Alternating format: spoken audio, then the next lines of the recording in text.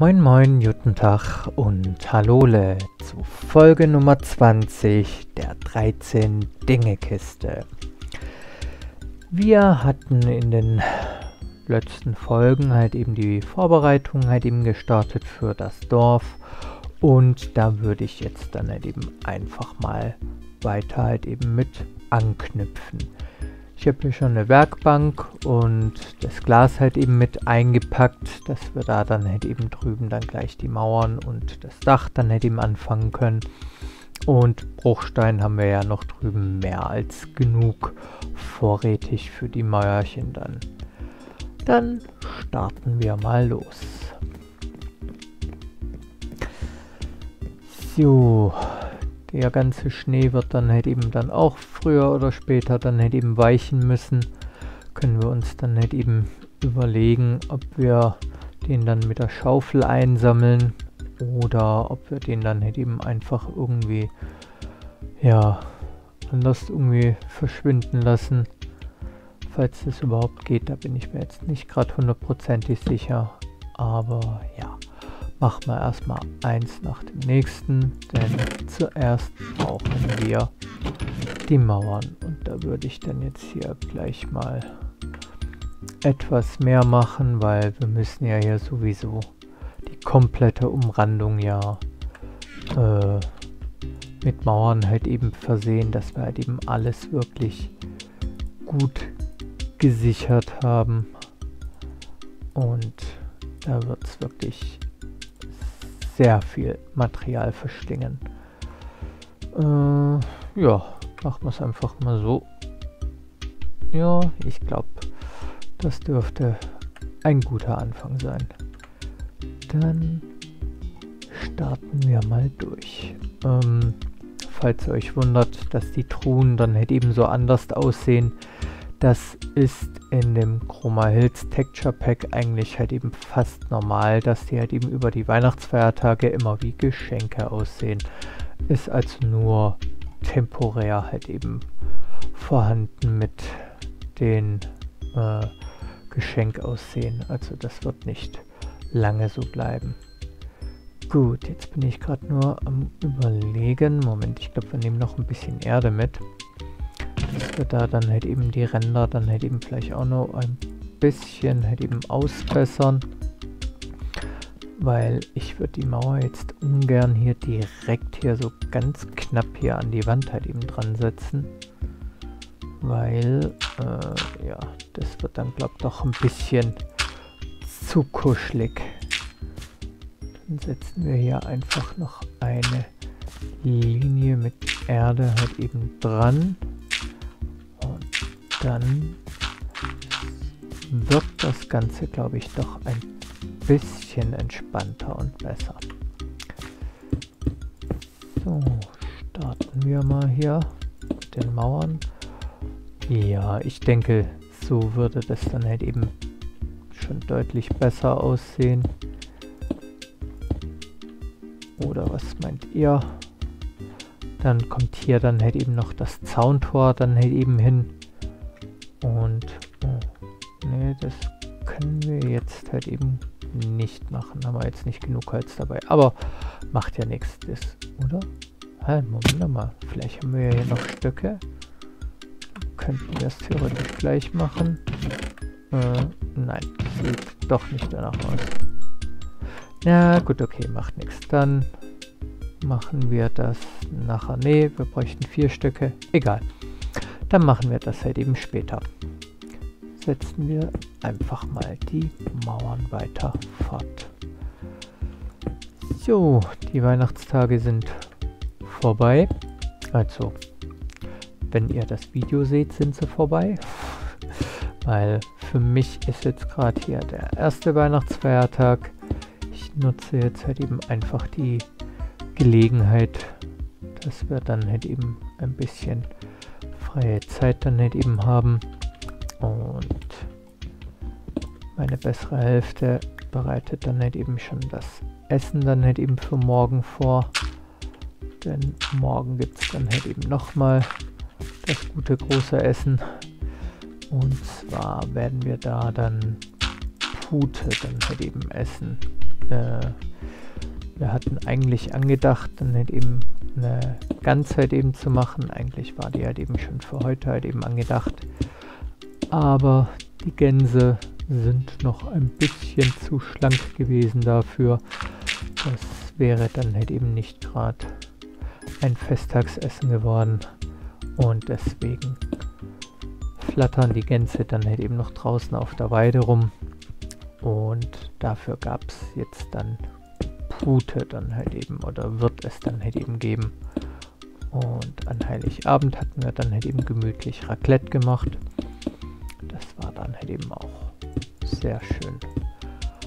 Und wie sind denn bei euch die Festtage dann halt eben verlaufen? Was hattet ihr dann halt eben gegessen? Hat ihr traditionell, war es geplant, war was ungeplantes, musstet ihr umdisponieren? Gab es irgendwelche Überraschungen? Schreibt es mir gerne in die Kommentare, falls ihr dann halt eben lustige oder vielleicht auch chaotische Geschichten dann halt eben teilen wollt. Also ich lese es immer wieder gerne und bin dann halt eben auch am Schmunzeln oder dann halt eben vielleicht auch ein bisschen am leidigen Mitfühlen, wenn dann halt eben irgendetwas halt eben wunderbar verläuft oder naja, vielleicht auch nicht ganz so wunderbar. Also, da könnt ihr mir gerne von berichten, wenn ihr das dann halt eben machen wollt. Jetzt schaue ich gerade mal. Ich glaube, das hier ist nur einen Stein dick, oder? Ne, zwei Steine dick. Aber könnten wir ja theoretisch ja halt eben abbauen. Würde ich jetzt mal behaupten. Oder wir machen das halt eben später.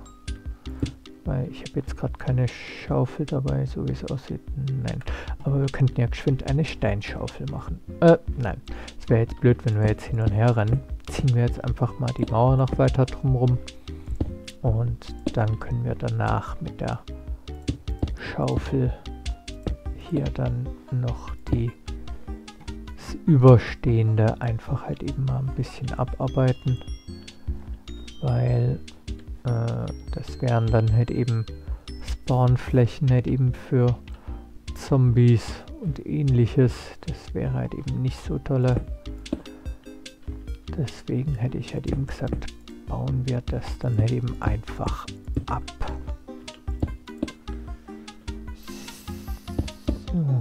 Ähm, ja, da müssen wir uns dann halt eben auch was einfallen lassen, ob wir da dann halt eben Laub draufsetzen oder das dann halt eben auch abbauen. Denn auf Laub können dann halt eben auch keine Zombies und Golems dann halt eben spawnen. Ähm, müsste man sich vielleicht halt immer von der Ferne halt eben mal anschauen, aber ich denke, so Laub, oh, das würde jetzt aber blöd aussehen mit nur einer Ecke hier, oder? Ähm, das hier so mit Laub abdeckendem Berg, also die Stellen, die wir dann jetzt halt eben nicht besetzen, ähm, ist glaube ich dann halt eben da die bessere oder halt eben auch schönere Idee. Sieht vielleicht ein bisschen natürlicher aus. So, dann haben wir jetzt die Umrandung hier jetzt mal durch. Yep. Dann äh, Schaufel, Schaufel, Schaufel. Ja. Eins, zwei und ja, eine Steinschaufel. Damit kommt man jetzt nicht gerade wirklich so weit. Aber Eisen müssten wir ja erstmal noch farmen. Beziehungsweise halt eben wieder es dann halt eben holen, weil als ich hier dann halt eben alles äh, gebaut hatte, äh, wurde ja der ganze Eisenvorrat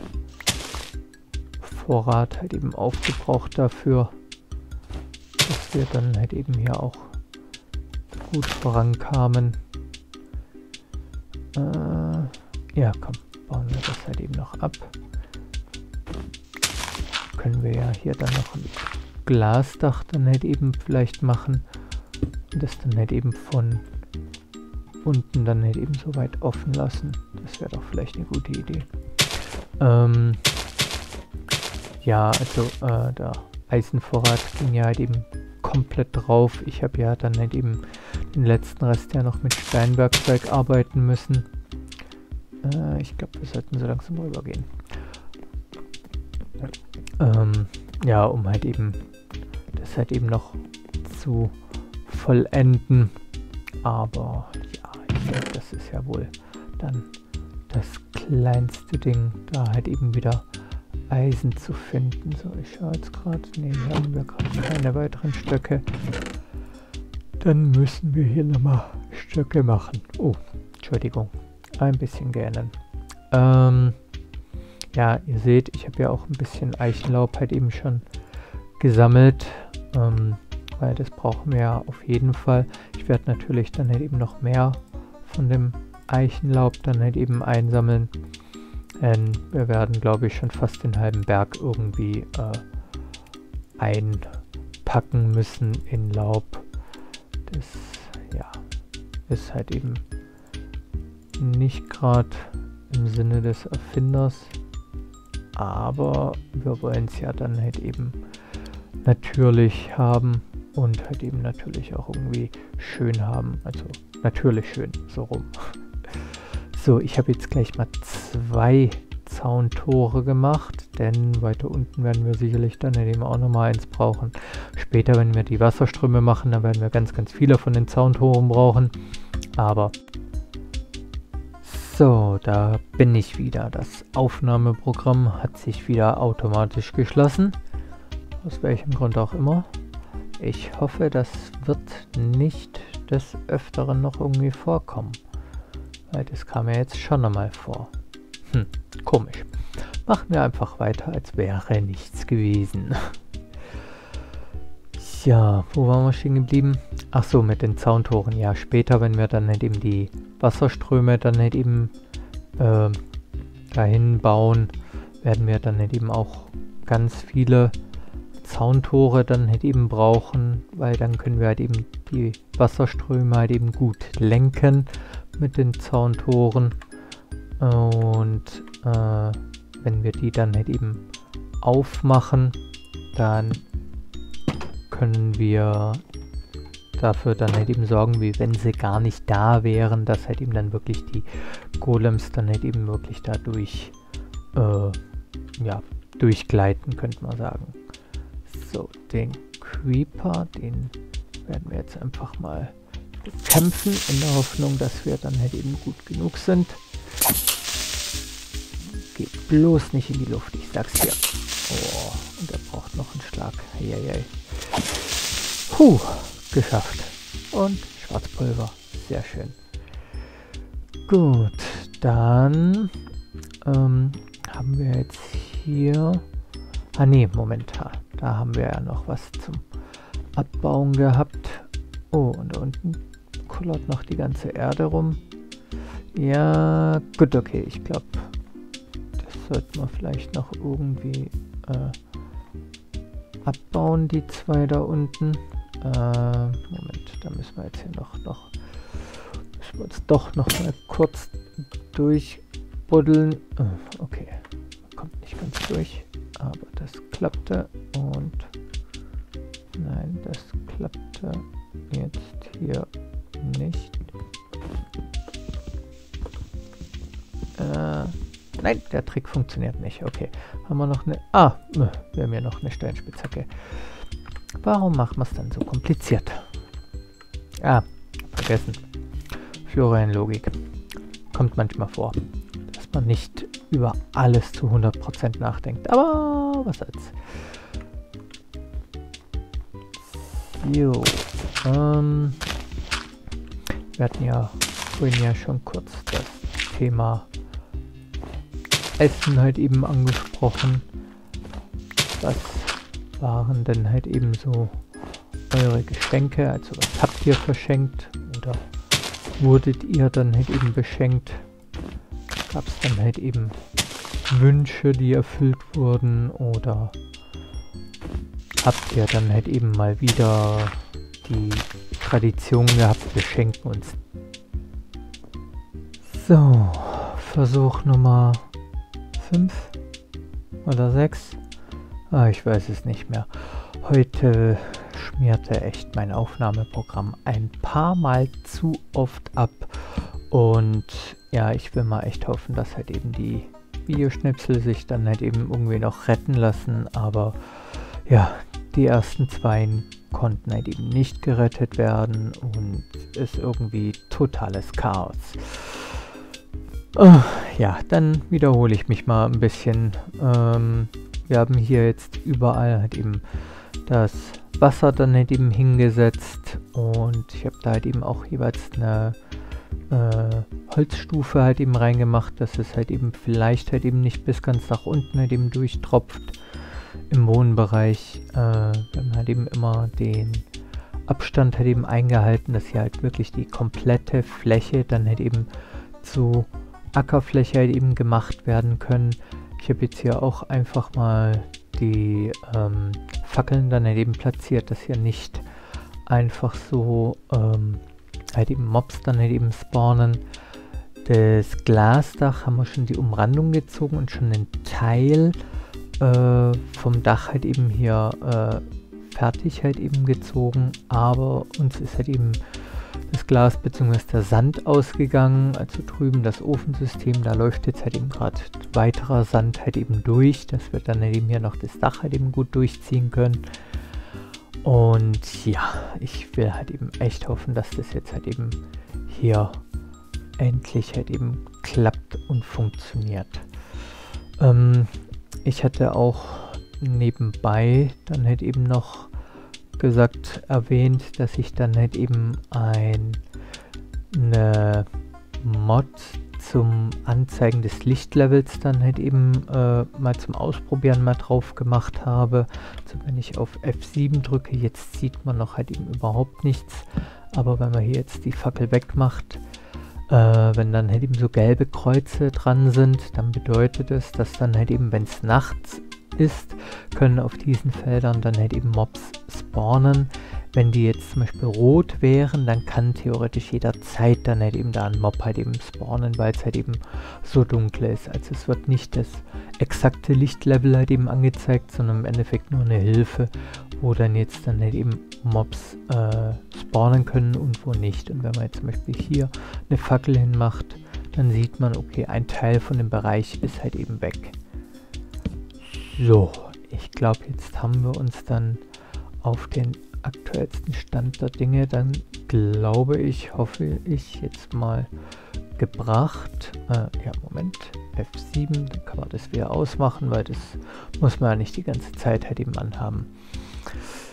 Gut, ähm, ich hatte halt eben auch äh, schon zwei, dreimal erwähnt in den letzten Aufnahmeversuchen, dass ich dann halt eben hier dann halt eben an eine der vier Ecken, aber ich glaube, wir machen das vielleicht hier hinten an dieser Ecke, dass wir hier dann ähm, einen kleinen See dann halt eben äh, basteln werden, dass da dann halt eben dann der Fischer, den wir dann auch haben werden, dann halt eben auch angeln kann. Keine Ahnung, ob er dann halt eben auch wirklich angelt oder nicht, aber ähm, es gehört halt eben auch ein bisschen zum Ambiente halt eben dazu, finde ich. Ne? Und zudem könnten wir dann halt eben ja auch einen sicheren Platz haben, wo wir selber dann halt eben angeln könnten. Also für uns selber dann halt eben Items irgendwie aus dem See herausfischen, den wir da dann halt eben basteln werden. Da möchte ich dann halt eben dann auch, äh, also das aussehen lassen wie ein normaler Felsen, also hier den normalen Stein halt eben dafür nehmen aber ich glaube, man müsste dann halt eben auch aufpassen, dass halt eben auf jeden Fall die Wasserfläche äh, Blick zum freien Himmel hat. Also da darf nichts irgendwie drüber sein, irgendwie keine Abdeckung oder irgendwie sowas, damit man dann auch wirklich was Gutes angeln kann. Aber das müsste ich halt eben nochmal genauer nachlesen und können wir dann das entsprechend halt eben so zusammen basteln. Was wir auf jeden Fall machen müssen oder was ich auf jeden Fall beachten muss, halt eben beim Bau dieses Teiches, ist halt eben, dass ich so Glasblöcke halt eben nehme als Boden, dass da nicht halt eben aus Versehen ein Eisengolem halt eben drin auftaucht. Das muss ja nicht unbedingt sein. Gut, ähm, ich habe jetzt hier mal die äh, Steinhacke halt eben mal mit genommen, dass wir schon mal das, was auf jeden Fall überdacht ist, dann halt eben schon mal zum Ackerboden dann halt eben bearbeiten können. Und dann können wir danach dann auch gleich die äh, Karotten und vielleicht sogar halt eben auch Kartoffeln dann halt eben einsehen, also dass wir halt eben zwei verschiedene Nahrungsquellen haben. Weil Dorfbewohner werden ja sowieso dann halt eben alles miteinander teilen. Und die essen ja Kartoffeln und Karotten, auch noch halt eben äh, rote Beete und aus Weizen machen die sich dann halt eben Brot. Aber ich denke, wenn man zwei verschiedene Nahrungsmittel anbietet, wird es dann halt eben schon äh, vollkommen ausreichend sein. Denn äh, ja, wir haben ja auch eine bestimmte Anzahl von Items, äh, die sie aufnehmen können aber haben halt eben noch eine zusätzliche Begrenzung halt eben drin, dass sie nicht zu viel von einem Item dann halt eben äh, aufnehmen. Und deswegen ist dann das mit den zwei Slots dann glaube ich dann schon sehr praktisch. Ich glaube, ich mache jetzt nur noch hier diese Reihe hier voll mit der Eisenhacke, weil die verbraucht sich doch recht schnell. Es wird dann halt eben vielleicht noch eine Steinhacke dann nicht eben machen und dann nicht eben, oder besser noch drei, vier Steinhacken, äh, dass wir damit dann nicht eben hier einmal äh, komplett dann halt eben äh, bearbeitet haben zu Ackerfeldern. So, ja komm, mach mal. Fünf Steinhacken. Das dürfte dann hoffentlich ausreichend sein. So, alles zusammen und den Stock noch. So, ja, ihr merkt vielleicht, ich bin halt eben jetzt auch ein bisschen müde und geschafft halt eben von dem sich rumärgern mit dem Aufnahmeprogramm. Aber ja, das kriegen wir dann halt eben noch gebacken und dann muss ich halt eben danach noch irgendwie mit dem Schnittprogramm mich dann halt eben umschlagen, damit es halt eben wirklich ein Video wird und in der Hoffnung, dass wir dann halt eben auch wirklich so viel als möglich retten können, weil, äh, ja, wie ihr sehen könnt, es ist halt eben einiges dann halt eben noch hier passiert, beziehungsweise ist halt eben vorangekommen. Und ja, also es ist zwar alles nachvollziehbar, aber ich möchte euch dennoch halt eben nicht vorenthalten und ich hoffe wirklich, dass die Dateien sich dann halt eben noch retten lassen. Denn bei meinem Aufnahmeprogramm gibt es dann halt eben, oder kommt halt eben die Meldung, wenn es halt eben abgestürzt ist. Ähm, die letzte Datei ist halt eben beschädigt worden. Möchten Sie die reparieren lassen? Und dann äh, kann man das halt eben starten, aber manchmal kommt dann halt eben die Mitteilung, dass das halt eben nicht erfolgreich gewesen wäre. Also ja, das dann nicht im Sinne des Erfinders, aber naja, gut, okay. Ja, so ist es halt eben, wenn man sich mit Technik befasst und sich nicht zu 100% damit auskennt. Denn ich mache das ja auch erst seit kurzem und habe halt eben noch nicht alles dann halt eben so wirklich äh, rausgefunden, wie man halt eben was dann halt eben machen muss, damit es dann halt eben wirklich von Erfolg gekrönt ist. Aber man lernt und übt ja und gewinnt somit dann halt eben auch Erfahrungen dann halt eben für die Zukunft dann. Denn man lernt nie aus. Musste sogar früher mal in der Schule einen Aufsatz über das Thema machen, dass man halt eben ein Leben lang lernt. Ähm, ja, also da kann dann schon mein anderer äh, beruflicher Zweig dann halt eben so ein bisschen durch, könnte man sagen. Und mein Aufsatz wurde dann halt eben eher ein halbes Drama, weil äh, ja, auf eineinhalb Seiten sind auf einmal halt eben drei Leute gestorben, weil ich da auf diese paar Wörter, paar Zeilen äh, tatsächlich halt eben eine ganze Lebensgeschichte halt eben zusammengepackt habe und die Hauptrolle in meinem Aufsatz, äh, ja, die musste halt eben wirklich ganz viel lernen und zwar das Leben lang. Äh, ja, wie dann halt eben die drei Morde oder halt eben die drei äh, Tode halt eben dazu kamen, das weiß ich ehrlich gesagt auch nicht mehr so ganz. So die Fantasie ein bisschen mit mir durchgegangen.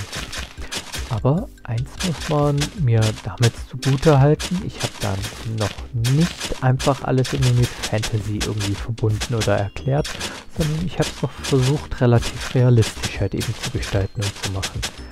Aber ja, gut. Das ist jetzt ja auch schon ein paar Tage her. Vielleicht auch ein paar Monate. Meine Güte, die Steinspitzhacken verbrauchen sich echt schnell. Aber ich glaube, wenn wir jetzt noch eine machen, na, vielleicht besser halt eben noch zwei, dann könnte es, glaube ich, funktionieren. Oh, nee, wir haben hier nur noch ein Stück. Ach, hier, Bretter. Wir können ja mehr Bretter machen. Äh, mehr Stöcke machen, so rum.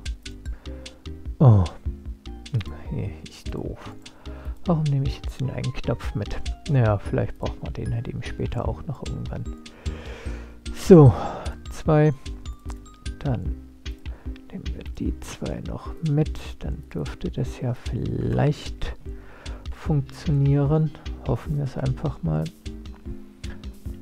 Und ja, ist auch schon wieder dunkel, aber ich renne halt eben nicht wieder so schnell ins Bett, denn äh, wir haben es ja hier gut ausgeleuchtet und ich war ja erst neulich dann halt eben schlafen, also Phantome dürften nicht so schnell auftauchen. Ähm, ja, also das kriegt man dann eben schon noch gut gebacken, denke ich mal, hoffe ich mal. Und dann werden wir in der nächsten Folge in der Hoffnung, dass jetzt eben alles dann soweit passt. Äh, in der nächsten Folge werden wir dann hier Oh, da fehlt wohl noch ein bisschen Bewässerung, wie es aussieht. Äh, ja, mh, hm, klar, das reicht ja gar nicht so weit. Okay, dann wird man vielleicht hier direkt an die Ecke. Oder nee, nehmen, nehmen, wir, nehmen wir diese Ecke hier. Äh, machen wir hier dann halt eben noch Wasser rein, eine Steinstufe. Wir Wasser gerade da? Nein. Müssen wir dann halt eben noch von drüben holen. Äh, ja gut, okay, machen wir das jetzt so schon auf. Können dann gleich den Komposter drüber setzen. Und dann braucht man nachher nur das Wasser drunter setzen und können dann den einen Erdeblock da dann auffüllen. Aber zum Wasser holen müssten wir da halt eben runtergehen. Bei unserem Wasserfahrstuhl sollten wir nicht kaputt machen. Sollen wir es riskieren? Sollen wir es wagen? Äh, gehen wir auf Nummer sicher. Wir haben schon zu viele Pannen erlebt, finde ich. Deswegen, äh, ja, müssen wir nicht noch es herbei beschwören. Äh, der Zombie brennt, sehr schön. Und, oh nein, eine Hexe. Eine Hexe ist gar nicht gut. Hoffen wir mal, dass sie uns nicht entdeckt hat.